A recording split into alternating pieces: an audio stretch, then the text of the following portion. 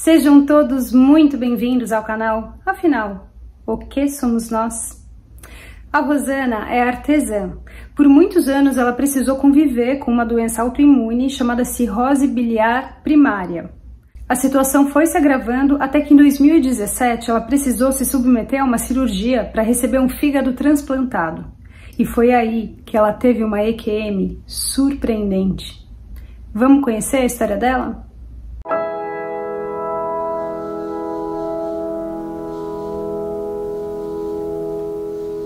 Boa tarde, Rosana. Muito obrigado por você aceitar compartilhar conosco do canal Afinal que Somos Nós, as suas histórias, a sua experiência de quase morte. Por favor, se apresente, se quiser, diga de onde você está falando e nos conte no maior detalhe possível tudo o que aconteceu. Muito obrigado. Obrigada a você, Carlos. É um prazer para mim contar minha experiência aqui no canal. Meu nome é Rosana Montes, eu falo aqui de São José dos Campos. E a minha experiência ocorreu no dia 9 de junho de 2017, durante um transplante hepático. Eu, infelizmente, é, o meu organismo criou uma doença autoimune cirrose biliar primária, bem rara. E durante 12 anos eu convivi com altos e baixos dessa doença. Momentos em que parecia que eu estava absolutamente saudável e momentos em que eu tinha que ficar internada. É, completando 10 anos da doença, eu piorei muito. E essa médica que cuidava de mim chegou e falou: Olha, não, não tem mais o que fazer por você. Todos os medicamentos que tinham disponíveis você já tomou e não tem mais o que fazer. Nessa época eu estava com muita queda de plaqueta e eu tinha hemorragias constantes, né? Sangrava meu nariz, sangrava a boca e eu tinha que fazer transfusão de plaqueta, fazia, chegava em casa, me sentia mal, começava a sangrar de novo, voltava para o hospital. Enfim, ela falou que não, não tinha mais jeito. E eu fiquei assim, desesperada. Falei, poxa, falei para o meu esposo, agora é o quê? É sentar e esperar a morte chegar, né? E um dia eu fui fazer uma transfusão e um médico veio falar comigo. Ele falou: Olha, você está sempre aqui fazendo transfusão, o que, que você tem? Aí eu falei, olha, eu tô no último estágio de cirrose biliar, né? E tô com muita queda de plaqueta. Ele falou, é, por que você não procura a Santa Casa aqui de São José e faz um transplante? Eu falei, não, eu não, nem sabia que existia isso. Ele falou, pois é. Aí eu perguntei se era pelo SUS, ele falou, sim, é pelo SUS, pode procurar a equipe e eles vão te atender. E então eu fui até essa equipe da Santa Casa, né? levei todos os meus laudos. É, a médica que cuidava de mim a princípio, ela não quis, ela não queria dar os, os meus laudos, né? Falou para minha irmã e para o meu esposo que não ia adiantar e que eu não iria conseguir fazer o transplante. Aí minha irmã falou: não, ainda assim nós vamos tentar. Enfim, é, fui até lá e consegui entrar numa fila, né? E eu estava na posição 127 mas é, eu ainda estava bem, né, comparada a outros que tinham a mesma doença. Então, eu ocupei esse lugar na fila. Já foi uma vitória para mim, porque, né, não tinha outra saída. Até que eu piorei muito e fui para, para a posição 27. E melhorei. Então, me tiraram da fila do transplante. Eu fiquei arrasada Falei, meu Deus, então, e agora? Eu continuo com a doença e não estou mais na fila. E quando faltava poucos dias para completar 12 anos da doença, aí sim eu passei para o último estágio mesmo. Eu tive barriga d'água, é, fiquei numa situação assim terrível. Eu não desejo para ninguém o que eu passei. É, praticamente eu era um esqueleto e uma barriga d'água. Perdi muito peso, todos os músculos, fiquei só com aquela barriga enorme, parecia que eu estava grávida de nove meses.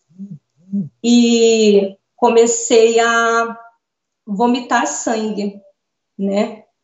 Aí os médicos viram toda a situação e me encaminharam rapidamente de novo para a fila. Então, em questão de, de semanas, eu estava na posição número um, né? Não tinha mais como esperar. Então, estava assim, literalmente na mão de Deus, porque é o que eu sempre falo, a medicina vai até um ponto, né? Eles me colocaram na fila, mas agora precisava de um doador compatível, né? Então eu fiquei nessa espera agonizante, agonizante, olhando para o telefone 24 horas, esperando que alguém me ligasse e falasse: Olha, temos um fígado para você, né? Enfim, passou uns dias, eu fiquei internada, voltei para casa, porque também não adiantava eles me manterem lá, voltei para casa, e já eram umas, creio que mais de oito horas da noite, o telefone tocou. E eu falei até para o meu filho, falei, bem que poderia ser, né, da central de transplante. Aí ele falou, ah, mãe, essa hora? Eu acho que não. Aí eu fui e atendi, e era. A secretária do meu médico falou, olha, Rosana, temos um fígado para você. Você tem que se internar amanhã, umas 5 horas da manhã você já tem que estar na Santa Casa. Fiquei exultante, né? Aí foi aquela choradeira em casa, todo mundo muito feliz, né? Mas eu ainda apreensiva, né? Tudo bem, fui para Santa Casa, fizeram todos os preparativos, mas eu estava muito angustiada, com muito medo. Eu lembro que eu fui tirar uma foto com a minha irmã, né? Ela falou: "Ai, vamos tirar uma foto, né?" Eu até pensei, vai ver, né? Se eu morrer, vai ser a última foto. Falei: "Tudo bem". E ela me abraçou e eu tremia, eu tremia de, de bater o maxilar. Aí ela falou assim: Você tá nervosa, né? Eu falei: Olha, eu, eu acho que não vai dar certo. Eu, se eu for hoje fazer esse transplante, eu vou morrer. Aí ela falou: Não, não fala isso. Eu falei: Sim, eu tô com muito medo, eu não tô, não, não é para ser, eu não sei, algo tá errado. E eu naquela agonia, aquela expectativa, até que veio uma enfermeira, a enfermeira-chefe da Santa Casa, conversar comigo. Aí ela falou: Olha, Rosana, uma má notícia. O fígado que veio não está legal para transplante, não não está viável, é melhor não não transplantar. O doutor André já olhou tudo e quando ela falou isso, me deu aquele alívio. Falei, ai que bom. Não sei porque eu pensei isso, ai que bom, não vai ser hoje. Aí eu falei, ah, então eu posso ir embora? Ela falou, não, calma, você vai se alimentar primeiro, o doutor vai passar aqui e depois você vai voltar para casa mas não perca a fé, a esperança, você vai conseguir. Eu falei, não, tudo bem. E vim para casa. Passei no mercado, fiz compra, cheguei em casa, fiz uma faxina na casa, me deu uma, uma força que eu não sei, sabe? Consegui fazer tudo que eu queria. Dois dias depois me ligaram novamente. Rosana, vem para o hospital que chegou um fígado para você. Aí vai eu. Totalmente diferente da primeira vez. Tranquila, confiante, sem aquele medo, sem aquela. Até falei para minha irmã, olha, não fica falando para todo mundo, né? Só quando você souber mesmo que eu estou na sala de cirurgia, né? Porque cria aquela expectativa toda, igual da outra vez, no fim não dá em nada. Ela falou, não, tudo bem. Fomos para o hospital. Eu muito calma, meu marido muito nervoso, então, como o fígado já estava vindo, veio de São José do Rio Preto, né? E ele já fazendo toda a preparação comigo, foi tudo muito rápido, né? Me despedi rapidamente do meu marido e falei para ele assim: olha, se eu entrar naquela sala e sair viva, Deus foi maravilhoso comigo. Se eu entrar e eu não sair, Deus também foi maravilhoso comigo. Eu tinha que viver até aqui e para mim tá ótimo. Deus é bom. Entrei para a sala. Me assustei, né? Muita gente, muita gente na equipe do transplante, né? Aí começaram a conversar comigo, tal, e me preparando.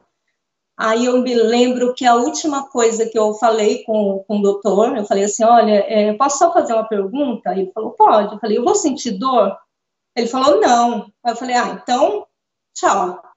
E apaguei, né? Bom, o transplante durou quase 10 horas, 10 horas de operação.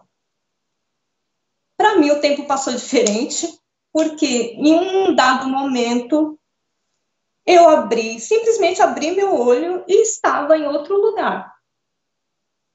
Um lugar totalmente branco, ausência de cor, só tinha branco, tudo era branco. Eu não sei nem dizer se tinha parede, se tinha teto, mas era tudo branco e no meio desse nada do branco estava uma cama de como se fosse uma cama de hospital e eu deitada nela. O meu primeiro impulso foi levantar. Né? O que que eu, que que eu tô fazendo aqui? Onde é que eu tô? E eu desci da cama. Ao descer da cama, eu me assustei muito, porque eu olhei para baixo e eu não vi meu corpo. Eu não tinha pé, não tinha perna, não tinha tronco, não tinha braço, mas eu estava ali. Era muito estranho, muito estranho. Não sei se as pessoas vão compreender isso.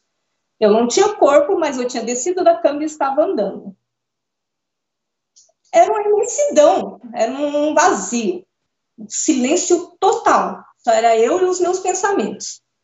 Eu saí andando por instinto e de repente se abriu como uma tela enorme, digamos, uma tela de cinema, assim, na minha frente.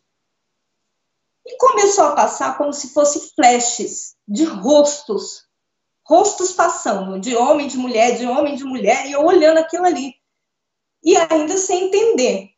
Até que depois eu comecei a entender. Esses são meus antepassados.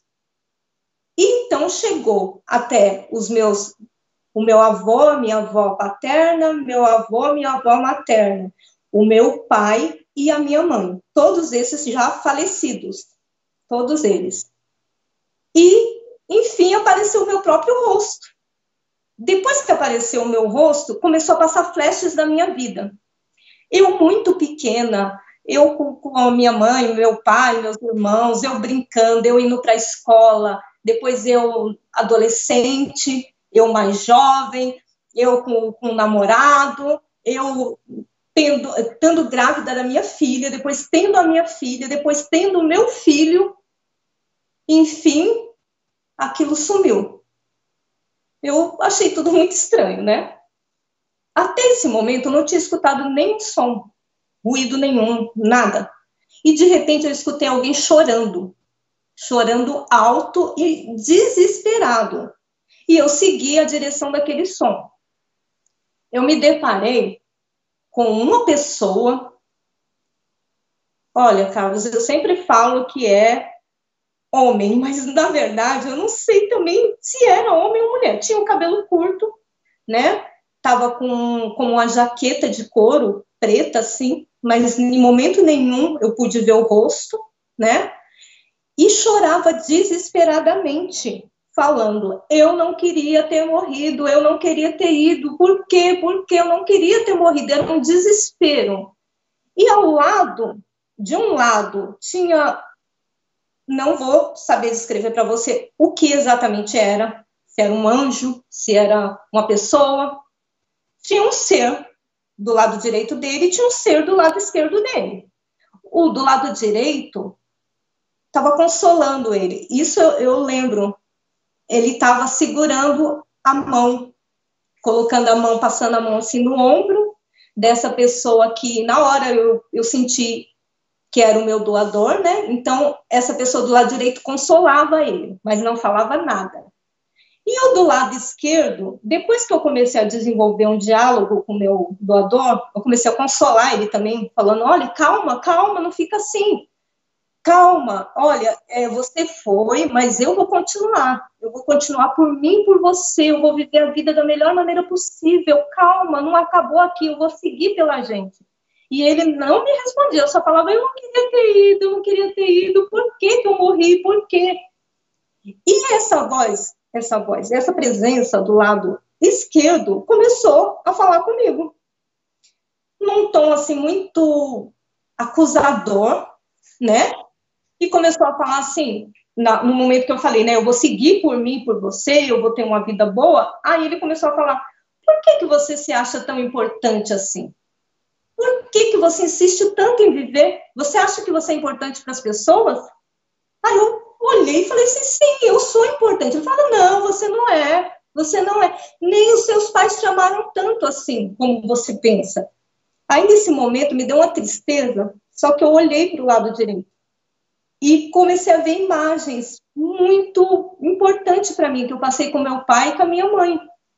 Momentos de carinho, de alegria, de brincadeira. Então, parece que o que esse ser do lado esquerdo falava, o ser do lado direito, com imagens, estava rebatendo tudo aquilo. Quando ele falava que eu não era amada, que eu não tinha valor, né? Eu olhava e via eu com os meus filhos, meus filhos falando que me amava, me abraçando, meu esposo.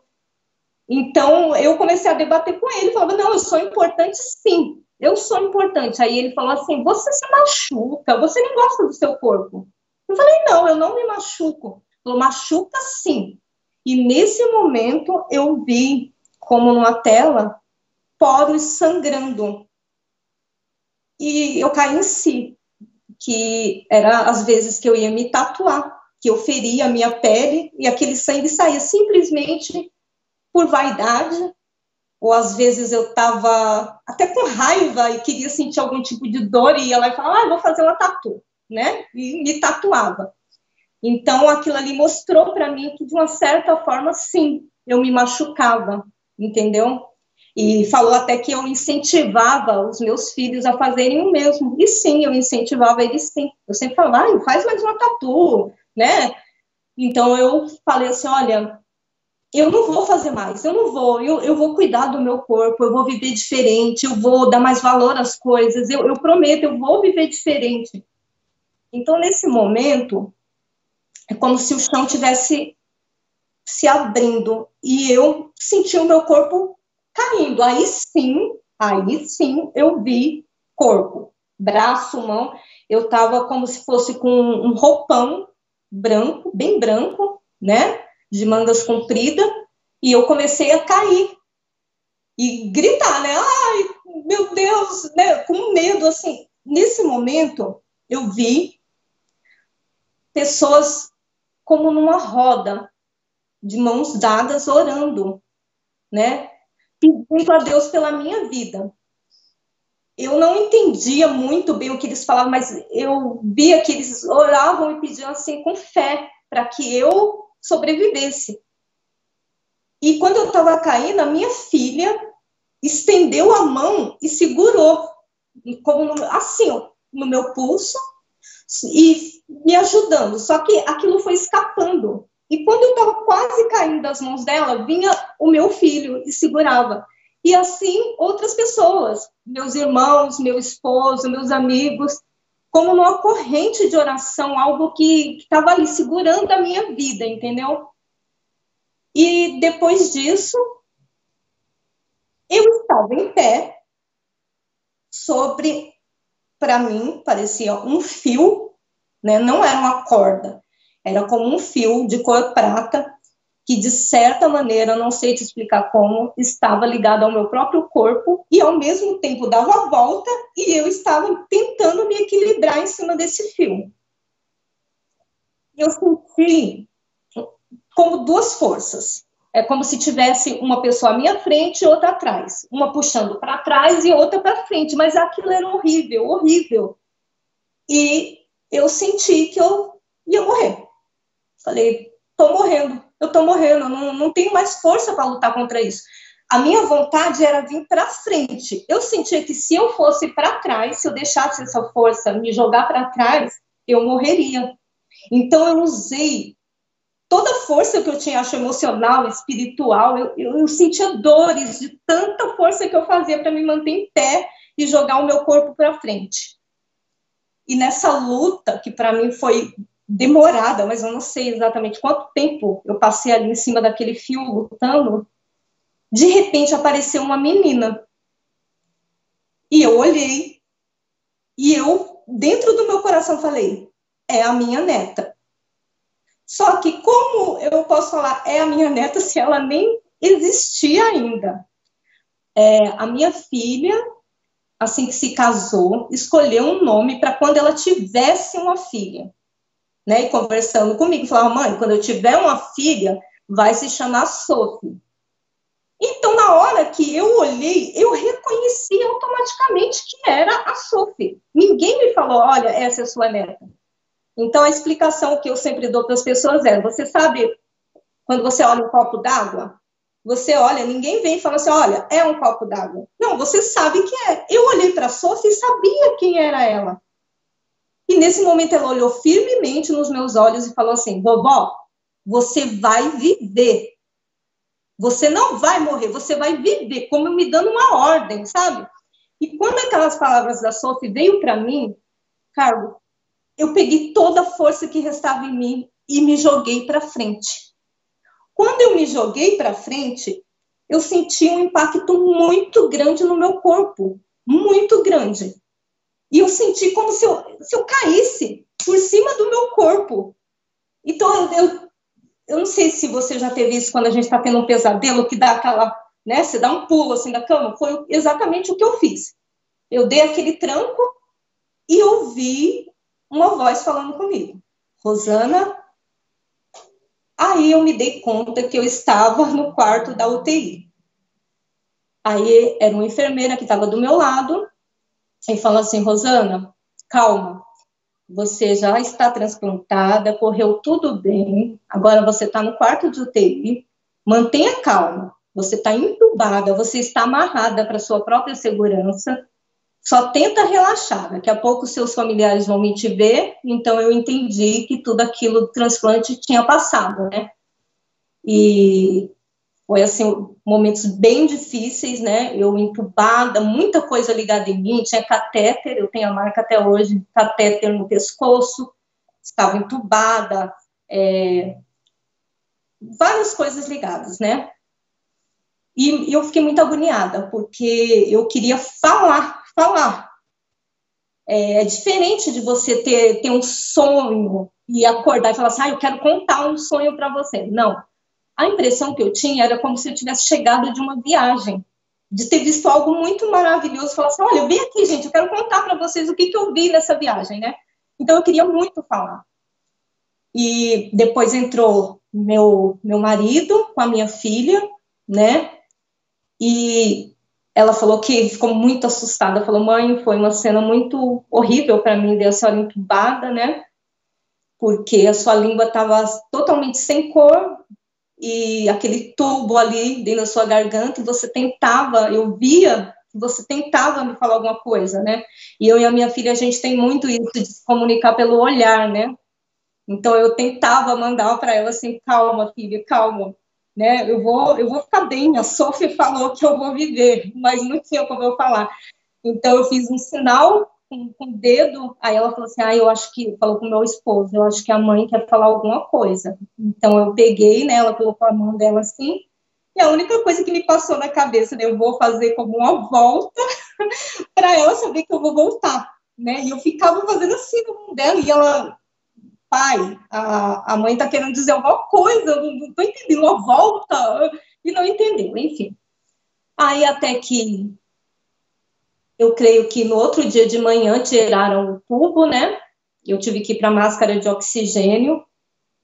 Infelizmente, lá na UTI ainda peguei uma bactéria pelo catéter, é, tive água no pulmão, começou a complicar um pouco, né? Depois do, do transplante, eu fiquei muito inchada, é aquele, aquele tempo ali ainda que você, os médicos falam, né, a corda bamba, você não sabe ainda se, se a pessoa vai, se o organismo vai realmente aceitar aquele fígado ou não.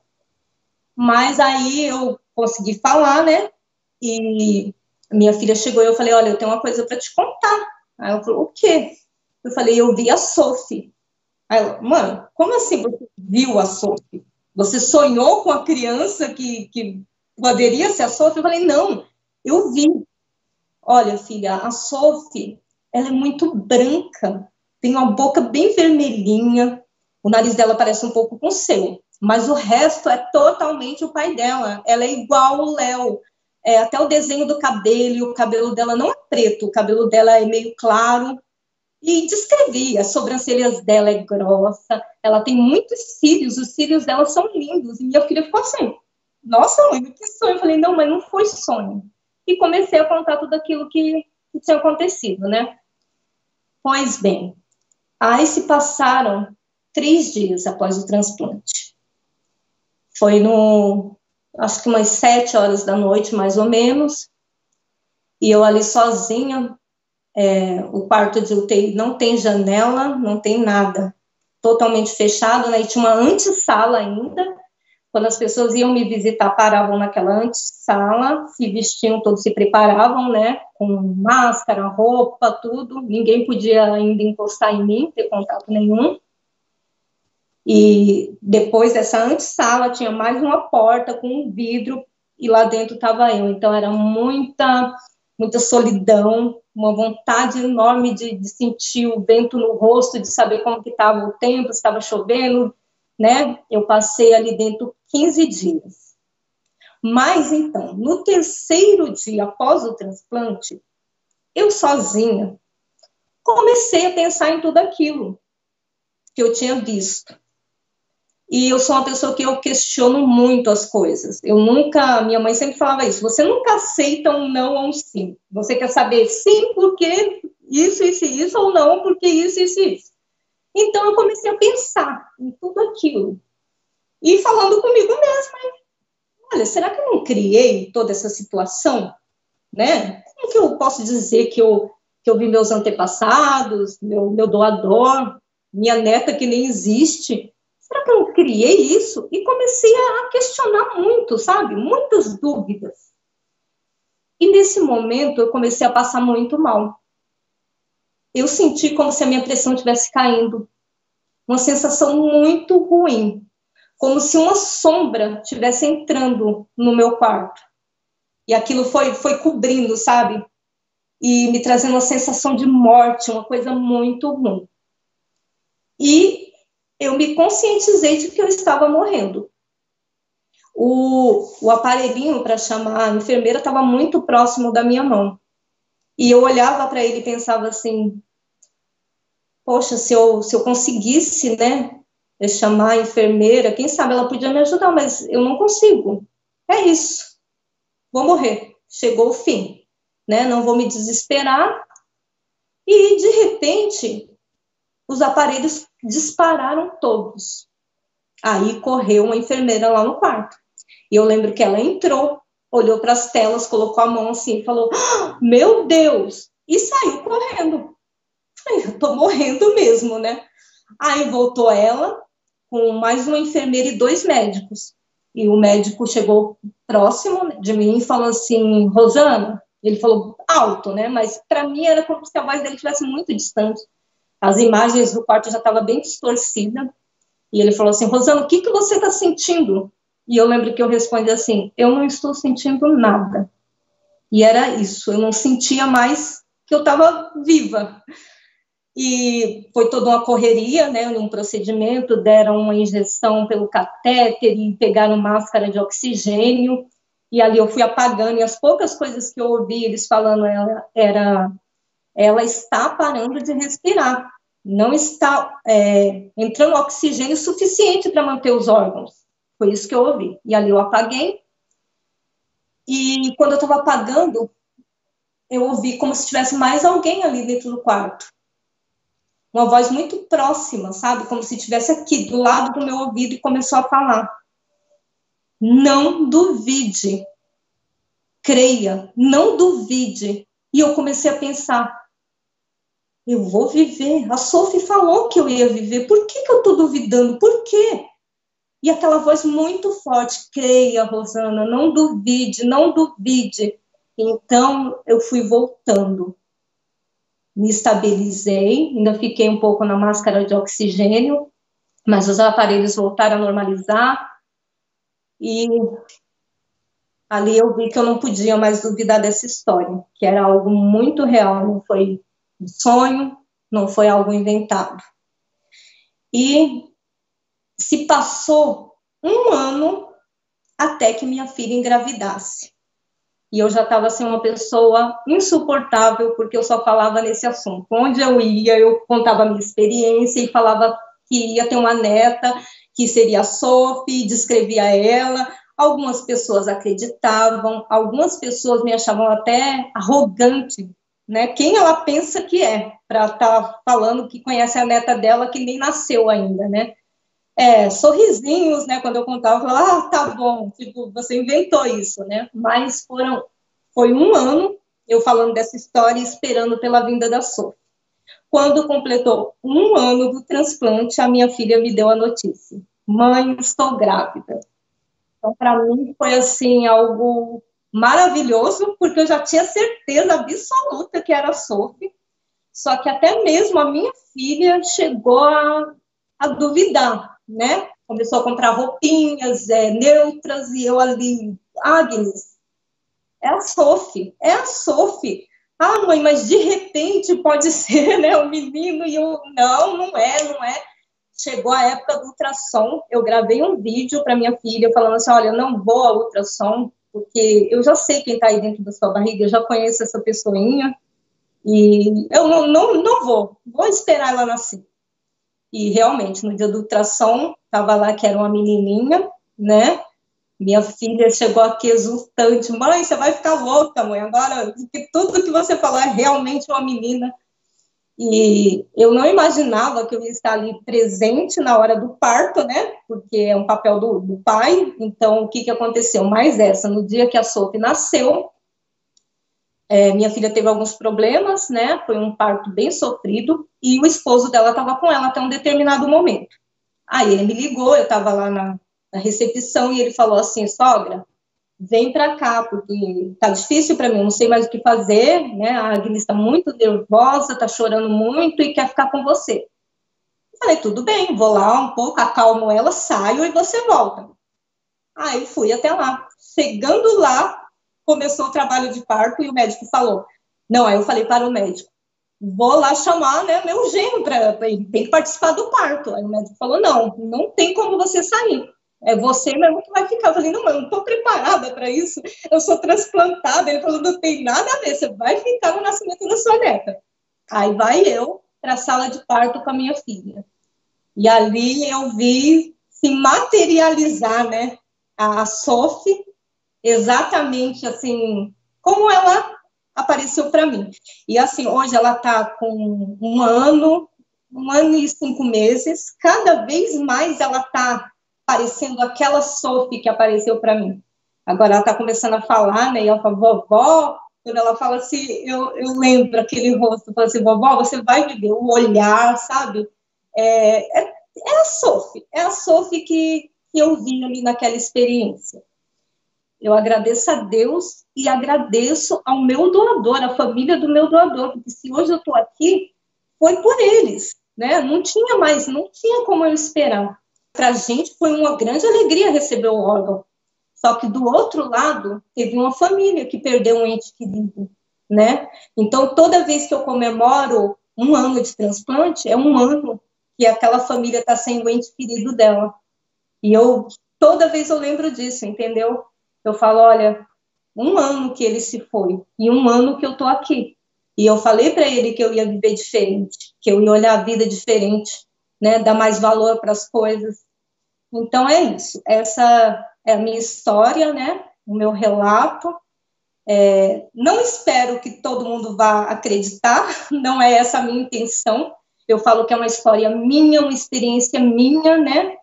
Mas eu sei o quanto ela é verdadeira e o quanto ela é importante para mim, toda a experiência. Eu espero que vocês tenham gostado e eu me sinto muito honrada, Carlos, em poder compartilhar isso com vocês. Nós que agradecemos, Rosana, por você ter contado tudo isso. Temos algumas perguntas, né? A primeira coisa que chama atenção, que chama muito atenção, é o fato de você ter se encontrado com o doador nesta outra realidade. E eu tenho muitas perguntas sobre isso, mas uma se sobressai, que é a seguinte: aparentemente ele não entendeu que o órgão dele tinha ido para você. Isso está correto? Sim, o que, o que aparentava era que eu sabia que ele era o meu doador, mas ele não fazia ideia de quem eu era. Sim.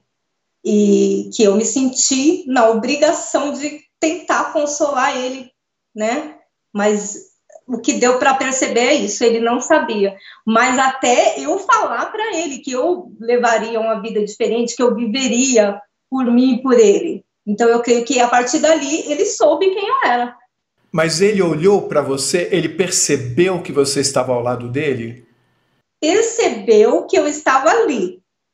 Mas em momento algum eu vi o rosto dele. Eu só vi de costa, cabelo preto, liso, um cabelo muito bonito até.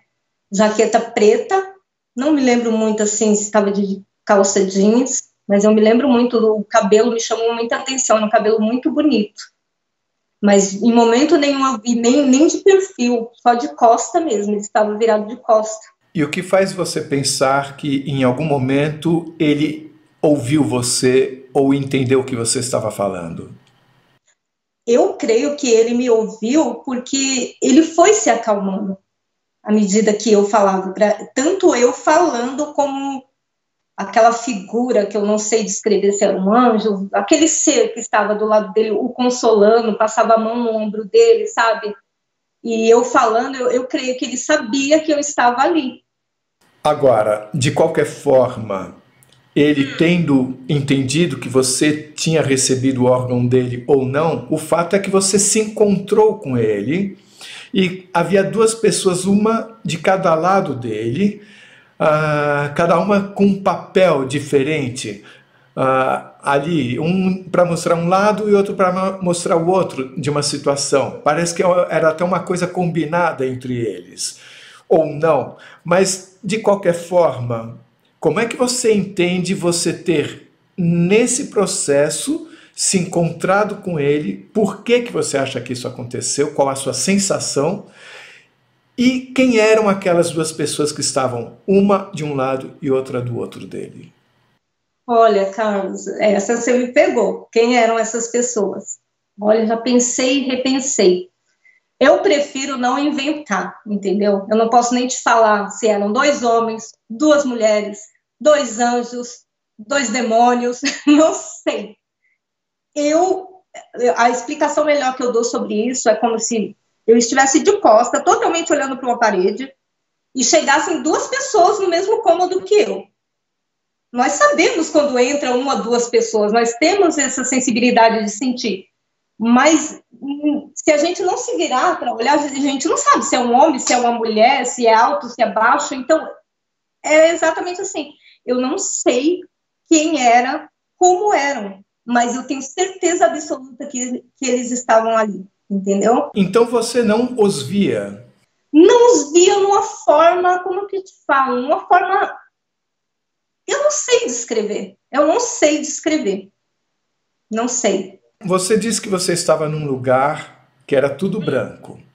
E aí você começou a escutar um choro e você Sim. foi nessa direção. Eu tinha entendido que você chegou num lugar e viu essa pessoa que estava de costas, com jaqueta de couro e tudo mais, e que havia uma pessoa do lado esquerdo e uma do lado direito. Me explica melhor, o que que você viu e o que que você só sentiu? Vi o meu doador de costas e ao lado esquerdo tinha alguém ao qual eu não sei descrever. E do lado esquerdo, do lado direito a mesma coisa seres. Eu, eu digo que, que eram seres.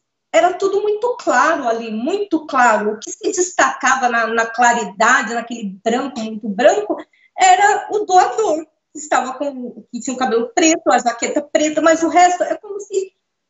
Não sei explicar, Carlos.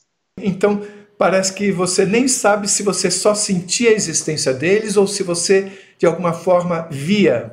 Estavam, eles estavam lá. Por quê? A mão de um deles, do que estava do lado direito. Eu vi a mão dele passando no ombro do meu doador. Você entendeu? Tinha uma mão. Agora, era uma mão de jovem, de velho, o rosto dele era de jovem, o cabelo era comprido, era, não, não sei descrever, não sei. E esse que falava comigo, como me acusando, falando que eu não era importante e tal, também é a mesma coisa, como se eu olhasse, mas não conseguia definir. Você não conseguiu perceber a roupa deles? Não, não.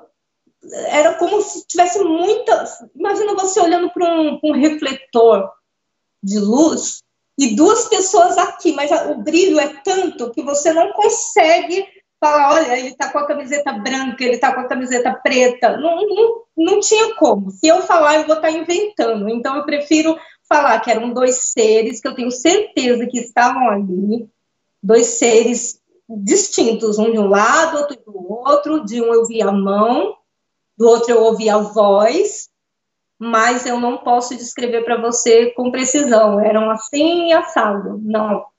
Eu te digo uma coisa, não eram humanos. Eu sinto que não eram. Humanos não eram. O que significa não ser humano?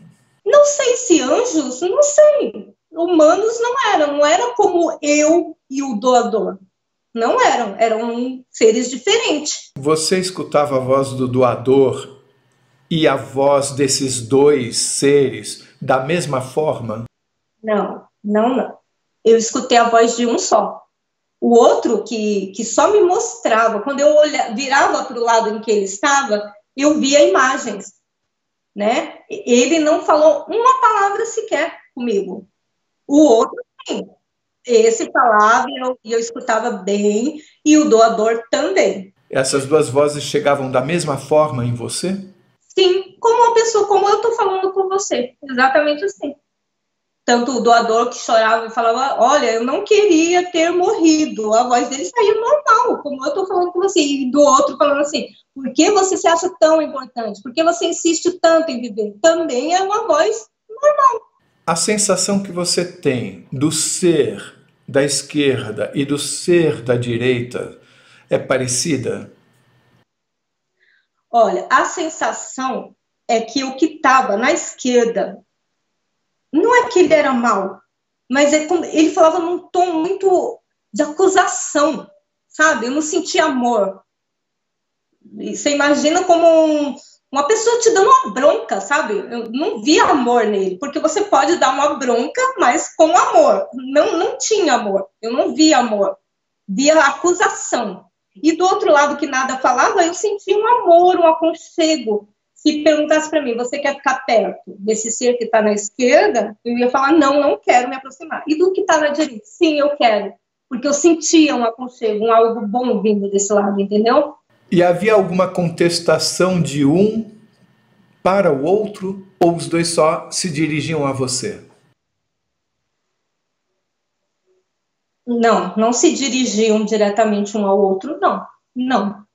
Porque o que estava na esquerda ele falava comigo, eu falava com ele, olhava para a direita e a direita me mostrava imagens, não falava como que estava na esquerda, é como se eu olhasse e visse o que estava acontecendo, entendeu? Não tinha uma interação entre eles. Faria sentido a você pensar que, na verdade, os dois trabalharam de forma complementar, passando uma mensagem para você?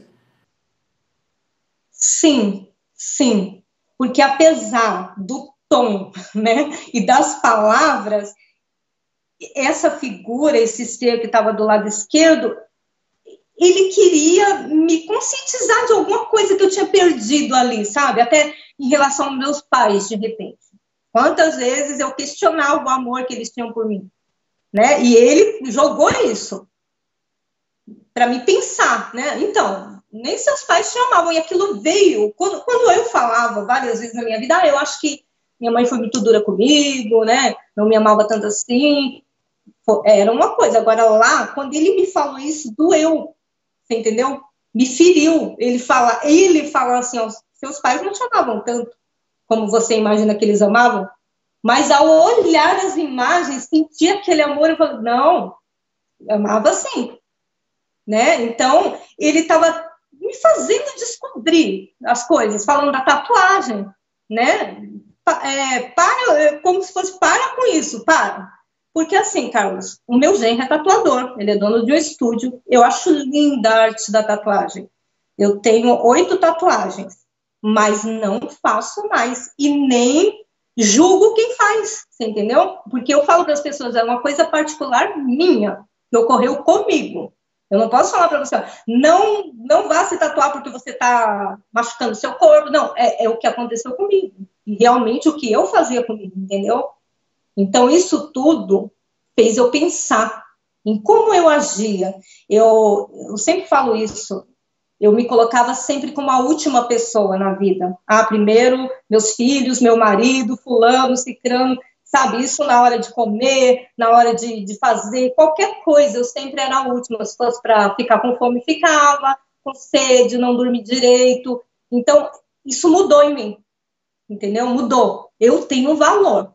Tanto eu tive para os meus pais, como eu tenho para os meus filhos, como eu prometi para o meu doador que viveriam uma vida diferente, e eu tive essa chance, então bem ou mal, ali eu consegui entender a mensagem, né, que eles queriam me dar.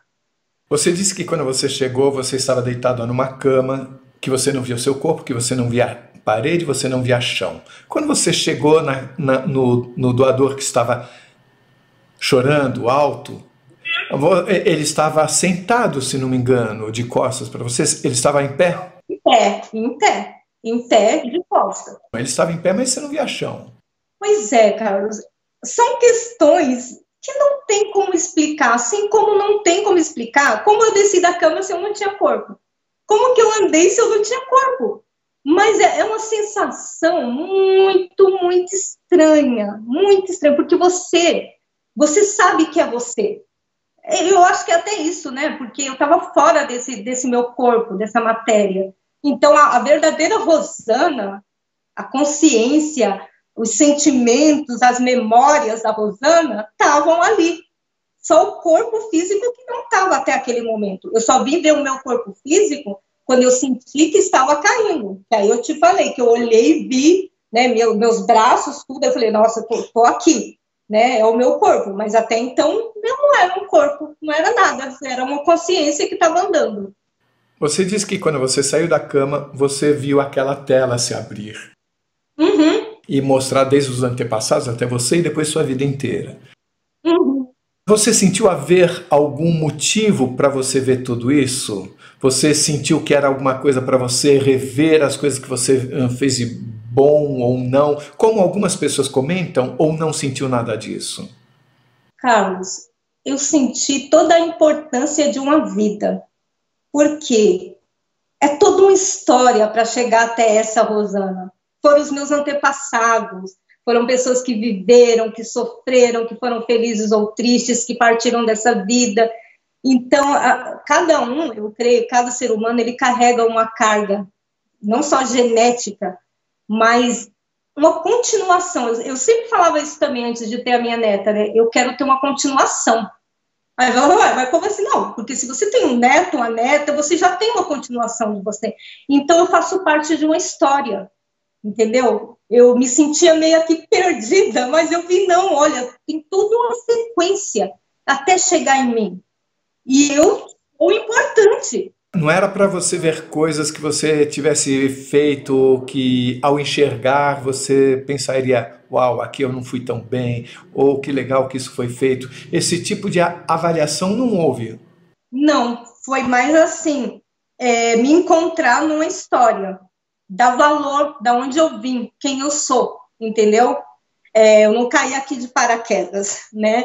Teve pessoas que viveram, que sofreram até que chegasse em mim. E a parte, você vê que quando parou em mim, né, mostrou ali o parto da minha filha, do meu filho, e voltou para o meu rosto, como assim, ó, você, você é importante.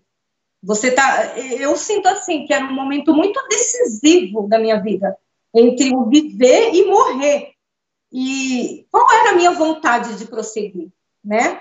De alguma forma, quando você passou para esta outra realidade, você se sentiu possuidora de um conhecimento maior do que você tem aqui? Conhecimento não. Mas assim, enxergar além. Enxergar além, sabe? É, eu vi que, que a gente dá muito valor para as coisas do agora como se a vida fosse apenas isso, né? Ah, fechei o olho, morri, não tem mais nada. Tem, tem. Para mim teve isso, para outra pessoa teve outra coisa, mas tem. Esse é o ponto principal. Tem, tem algo depois da morte. Então eu comecei a enxergar é, e dar valor mais para as coisas que, que a gente não vê. Mas isso me parece uma racionalização sobre o ocorrido. Quando você estava lá, você Mudando a pergunta, uh, quando você estava lá, você se sentia parte de um mesmo todo, como se você fizesse parte de tudo aquilo também? Sim, porque o próprio fato, veja bem, eu vou tentar explicar dessa maneira. O fato de você estar ali, no começo de tudo, sem um corpo, sem nada, em tudo branco, você não sabe onde era o começo, onde era o fim daquilo ali, parece que você está encaixado, você está naquele contexto, junto com tudo aquilo. Aquilo está dentro de você e você está dentro daquilo. Você entendeu? Então não tem como, como fazer essa divisão. Você se sente parte de tudo aquilo. Porque ao mesmo tempo de você olhar e falar assim, eu não estou aqui, porque o meu corpo não está aqui, eu estou aqui como eu nunca tive em outro lugar. Com todos os meus pensamentos, sentimentos, expectativas, eu estava ali. Mas fisicamente não estava, então eu fazia parte daquilo. E aquilo fazia parte de mim. Eu estou falando de uma sensação e não de uma conclusão. Conclusão e sensação, sim. A gente, a gente, no meu caso, eu me senti parte de tudo aquilo, sim. E, e continuo me sentindo, entendeu? É, um, um, algo diferente que aconteceu, que não tem como eu negar, né? Ainda que eu não, eu penso sempre isso, ainda que eu não contasse para ninguém. Foi uma experiência muito forte que eu senti. Não tem como ignorar o que, que essas, tudo que eu vi, tudo que eu ouvi, né? É, até assim, Carlos, na parte que eu vi pessoas orando por mim, né?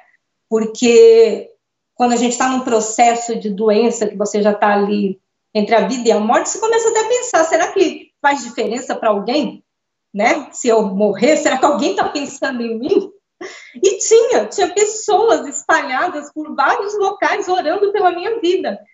Só que eu até então não dava tanta importância, até que eu vi, eu vi as pessoas orando com fé, com aquele fervor, sabe, pedindo, como que disse, deixa ela viver, dá força para ela para passar por aquilo. Então, eu comecei a ver diferente. Quando você olhou para o doador, de alguma forma você se sentiu ligada a ele, não pelo fato dele ter doado um órgão para você, mas essa ligação que tem a ver com estarmos todos interconectados? Sim, sim. É, tanto que, é como eu te falo, a mesma sensação que eu tive com o doador, eu tive com a Sophie. Ninguém me falou, olha aqui, esse é o seu doador. É algo que você sente. Eu, senti, estamos ligados. Ele é o meu doador, né? Com a Sophie. É, ela não existe ainda, mas vai existir. Eu estou ligada a ela. Aí você vê que é todo um, um elo. É interessante, porque a Sophie falou vovó. O doador em nenhum momento falou eu sou o seu doador e ninguém falou. Não falou, mas eu sabia que era. E eu falei, é como se eu falasse outras palavras para ele: olha, eu vou ser a pessoa que vai receber o seu órgão. Né? Não falei dessa maneira, mas falei: vou continuar a viver por mim, por você.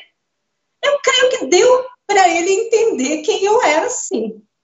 Porque só o fato de eu falar isso, né? Olha, eu vou continuar vivendo por mim por você, não faria sentido se eu não recebesse alguma coisa dele e continuasse a viver através daquilo que ele me deu. E que presente, né? Porque a, ah, talvez muita gente não saiba, mas não existe nenhum aparelho no mundo que substitui o fígado. O coração dá algum probleminha ali na hora do transplante, ainda tem algo ali para manter a pessoa viva. O pulmão, a mesma coisa, mas o fígado não tem. Você entendeu? Então, como o meu já estava necrosado, se esse dele não me servisse, não tinha outro escape, seria a morte certa. Agora vamos para a parte em que você caiu. Como é que isso começou? Bom, assim, até o momento eu estava ali diante do doador daqueles dois seres, que é assim que eu prefiro chamar, né? Dois seres. E como se o chão se abrisse. Você está em pé, daqui a pouco é tirado o solo onde você está e você, você cai. Assim que eu senti. Caindo, caindo, em uma sensação, não foi nada boa, muito ruim, muito ruim. De até quando aí então eu vi esse meu corpo físico, senti o peso mesmo do corpo, sabe, indo. Foi muito ruim, muito ruim. E como é que você via essas, essas pessoas orando por você? que você percebia, você escutava, você via? Eu olhava, mas eram tantas vozes, Carlos, tantas vozes, sabe? mas é, saía assim, um ajuda, Senhor, né? tem misericórdia, é, ajuda ela, uma coisa assim, muito, muitas pessoas falando ao mesmo tempo, entendeu? Mas era oração, era oração pedindo pela minha vida. Você reconhecia rostos Sim, tanto que eu te falei que quando eu senti que estava caindo, caindo mesmo, a minha filha, minha filha, eu olhei no rosto dela, ela me estendeu a mão e segurou minha mão, era minha filha. E depois o meu filho, depois o meu esposo, meus irmãos, não vi ali meu pai, não vi ali minha mãe, pessoas que já partiram desse mundo, não vi ninguém. E aí, de repente, você estava como que por mágica se equilibrando num fio de prata. É como se mudasse o cenário, sabe? Você tá caindo, daqui a pouco alguém te segura, e você vê aquele círculo de pessoas orando, e daqui a pouco, como num piscar de olho, assim, se fechou e abriu o olho, você tá em pé, tentando se equilibrar em cima de, de sei lá, uma corrente de prata muito grossa, um fio assim. Que você sabia que saía de você e que chegava no seu corpo. Sim, como se, Carlos, como se a minha vida dependesse daquilo. Eu não sei de que maneira, mas estava ligado em mim. E se eu fosse para frente, eu viver, viveria, para trás, eu morreria. Aí do nada apareceu a Sophie. Sim. Que conversou com você. Também não piscar de olhos, como se eu fechasse, abrisse e ela já estava ali na minha frente. Muito perto, assim, olhando bem nos meus olhos, entendeu?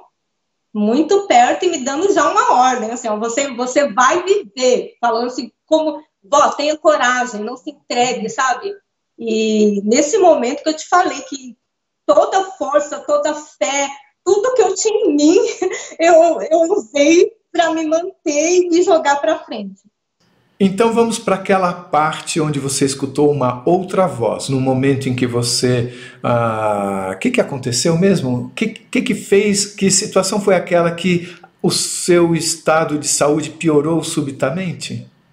Foi um momento que juntou solidão, né? O fato de estar ali dentro daquela UTI, tudo fechado, e comecei a pensar na vida, e principalmente nisso aquele estalo assim, Rosana, será que você não criou tudo isso? Foi sonho. E eu pensando, eu conversando comigo mesmo, eu tenho muito disso de conversar comigo mesmo, falando assim, será que você não criou isso, não? E comecei a duvidar, vai ver que eu não, não, não vi meu doador, esse negócio de ter visto a não, isso aí, meus antepassados, não, eu criei tudo isso, isso não é real, isso aqui não é garantia nenhuma de que eu vou viver, né, o fato de estar transplantado, porque tem gente aí com 10 dias de transplante morrem, né? Bom, até eu, qualquer momento, né, três anos, o, eles deixam bem claro isso, qualquer momento pode dar uma rejeição, né? Mas, enfim, foi o momento em que eu questionei muito, tudo que eu tinha passado eu comecei a questionar. Foi uma falta de fé total, assim, e como se aquela falta de fé abriu uma, uma porta assim para a escuridão, para o medo, para as dúvidas, e foi quando eu comecei a passar muito mal fisicamente e senti que, bom, é isso, vou morrer. Foi bem isso mesmo. E essa voz, como se me puxasse de volta, né?